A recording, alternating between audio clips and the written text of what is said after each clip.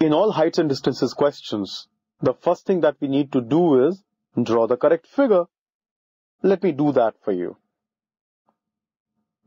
Once we have the figure, let's see what is it that we need to find. We need to find the distance AB, right? The distance that the boy covers while walking towards the building. Now look at the figure carefully. If we know AR and BR, we can find AB because AB is AR minus BR. Good. So that's exactly what we will do. But we have to be careful about one thing. The height of the boy is given, right? AS, that is 1.5 meters, and so is RQ. So, what is PR? PR is PQ minus RQ, that is 30 minus 1.5 or 28.5 meters. Now we are ready to solve this question. Look at triangle PAR. Tan 30. What will that be equal to?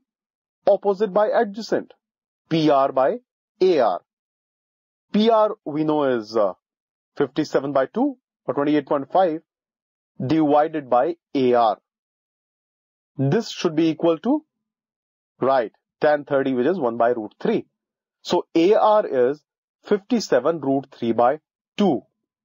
Now let's look at the other triangle. Here we'll try to find BR. Fine? Once again, tan 60, what is that? PR by BR. 57 by 2 by BR. So BR is 19 root 3 by 2 meters. Now ST is equal to AB. That's clear.